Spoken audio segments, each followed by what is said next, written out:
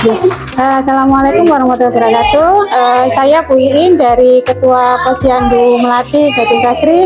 Uh, pagi hari ini kita sudah melaksanakan PIK uh, target di RW 01 yaitu 45 balita dan 30 PAUD, murid PAUD. Alhamdulillah semua target hari ini terpenuhi. Uh, kedatangannya untuk hari ini adalah 66 balita. Uh, di sini kita juga membuka untuk yang umum, tidak untuk khusus balita yang ada di RW 01 aja, cuman semua yang ada termasuk tamu yang bukan bukan warga di Gading bisa untuk imunisasi di sini. Uh, Alhamdulillah kita pagi hari ini juga kedatangan dari Bulura dan Bu Camat dan dan Kok dari kecamatan.